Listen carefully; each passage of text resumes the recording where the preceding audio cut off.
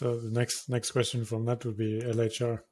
So what's it like to to work with the LHR cards? How, how challenging is it? I imagine it's quite difficult when, when you're working with these, but when you do achieve something and you do crack one, it must be a pretty good feeling, right? Uh, well, it is. uh, it had it it, it had uh, kind kind of a, an up and down.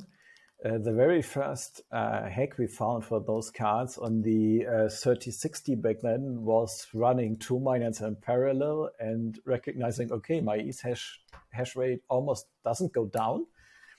Then we started throttling the second miner running in parallel, make it slower, and so, okay, our Ethash, hash rate is actually going up.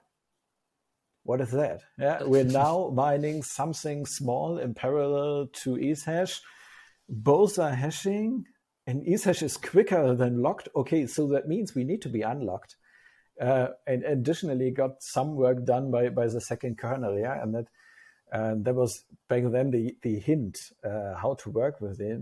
Um, so obviously uh, they needed to be busy with with something different than ETH or with some additional instruction uh, to make them unlock.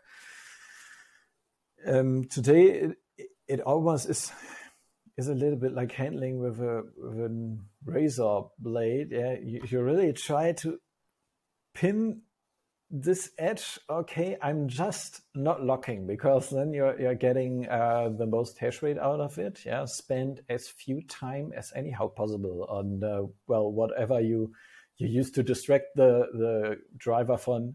Do not recognize this, and um, well of course, that is very uplifting. The moment you you find it, found a good solution, um, of course, it also can be kind of. Um, well, I also had my bad moments with it when I thought, okay, I've got a good code, ship that to the miners, and um, uh, well, then it turns out, okay, for most of the miners, it doesn't work that well. Hmm, shit happens. Uh, also, of course, during the development, um, I had this this hack for the 3060 very very early on the old drivers. Then I installed the new drivers and recognized okay it doesn't work. Did tweak one or two small parameters. Hmm, it still doesn't work. Okay, screw it. Obviously they fixed it somewhat. That was my thought. And then later on, I saw uh, NB Miner doing um, doing the first move for the version two cards, and then I thought, okay, what the heck did they do? Why did they get it to work and me not? And uh, well, in the end, it turned out my V1 code already was quite good. I just needed to to turn uh, the parameters more into the extreme because the version one codes all did aim to almost 80% of the speed.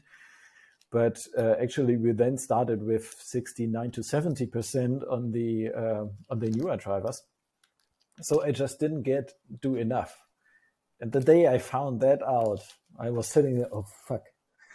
I could have had the I could have I could have had the solution much earlier. Yeah, I could have had this three months ago.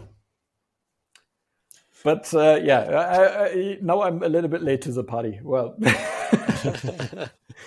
but of, of course it is it is somewhat interesting. It's also binding a lot of your attention uh, because uh, this is a domain where, where there's still a, a lot of stuff um, to gain yeah, we, we had gains of one to two percent uh, from one code generation to the next one, and um, this is of course much more interesting than writing the 30th, 40th iteration of your ETH code again to gain 0.02 percent.